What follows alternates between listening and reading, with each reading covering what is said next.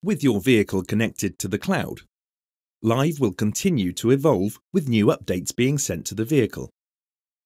These include improvements to existing services or new apps, so you can be sure that your vehicle is always up to date with the latest Live features.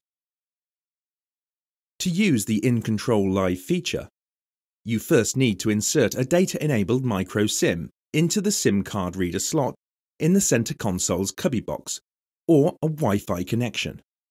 To use Live, your vehicle needs the initial update to be installed. This may have already been carried out by your retailer.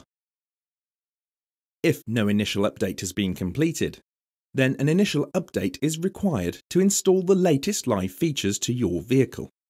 To access the Updates feature, select Live from the Extra Features menu, followed by Updates. This initial update begins downloading automatically. The blue line above the Updates app turns into a progress bar showing the download progress. Or by selecting the Updates app, a progress bar shows the status of the download.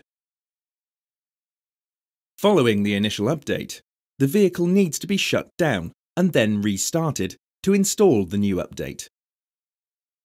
To complete a full shutdown of the vehicle, press the Start-Stop button to turn off the engine. Leave and then lock the vehicle. Allow approximately 10 minutes for the vehicle to shut down. Return to the vehicle and press the Start-Stop button. On vehicle start, the new Live update installs automatically. Live is unavailable while the update is installing. Once installation is complete, you can access Live and its features. Occasionally, new updates are sent to the vehicle, which can include improvements to existing services or new features added. When a new update is detected, a green icon appears on the Updates app to show you there is a new update ready to download. To download a new update, select the Updates app, followed by Download, a progress bar shows the status of the download. Following the update, the vehicle needs to be shut down and then restarted to complete the installation.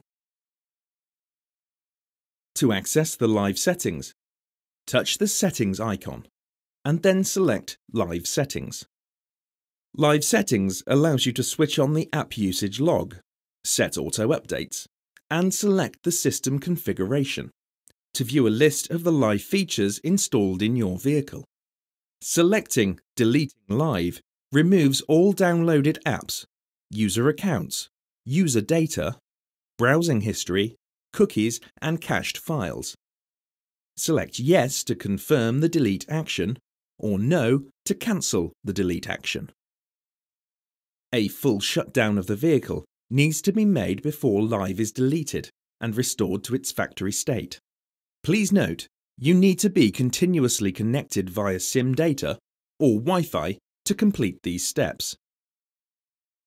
For further information about this feature, or any other feature, please refer to your owner's handbook. For help or assistance, please contact your Jaguar Land Rover retailer, who will be more than happy to assist you.